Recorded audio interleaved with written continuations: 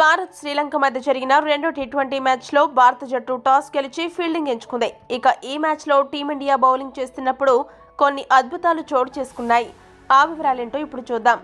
Innings ప్రారంభించిన శ్రీలంక జట్టుకు ఓపెనర్లు అద్భుత ఆరంభాన్నిచ్చారు మొదటి వికెట్కు ఓపెనర్లు పదం నిస్సంక కుసాల్ మెండిస్లు కలిసి ఎనభై పరుగుల భాగస్వామ్యాన్ని నిర్మించారు. మొదటి వికెట్ రూపంలో అర్ధ సెంచరీ చేసిన కుసాల్ మెండిస్ అవుట్ అయి వెనుదిరగ్గా భానుక రాజపక్స వన్ డౌన్ బ్యాట్స్మెన్గా క్రీజులోకి వచ్చాడు. ఏమరపాటుగా ఉంటే భానుక రాజపక్స ఏమి చేయగలడో ఆసియా కప్లో అతడి ప్రదర్శన చూసిన వారికి ఎవరికైనా అనిపించక మానదు.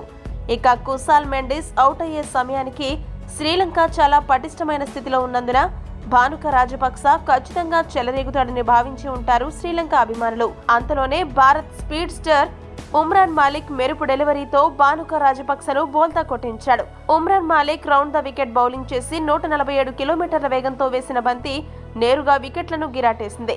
భానుక రాజపక్సకు ఏం జరిగిందో అర్థమయ్యేలోపే వికెట్ ఎగిరిపోయింది. అదేవిధంగా నూట నలభై ఎనిమిది కిలోమీటర్ల స్పీడ్తో హాసరంగాని కూడా ఉమ్రాన్ మాలిక్ క్లీన్ బౌల్డ్ చేశాడు.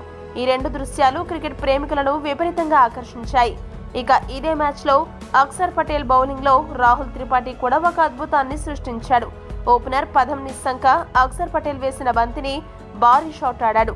అది సిక్సర్ అని అక్సర్ పటేల్ కూడా ఫిక్స్ అయిపోయాడు.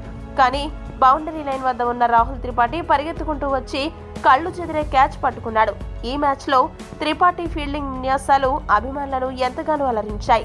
చేజారిపోయింది అనుకున్న క్యాచ్ని గ్రౌండ్లో త్రిపాఠి పల్టీలు కొడుతూ బంతిని ఒడిసి పట్టుకున్న తీరు అభినందనీయం.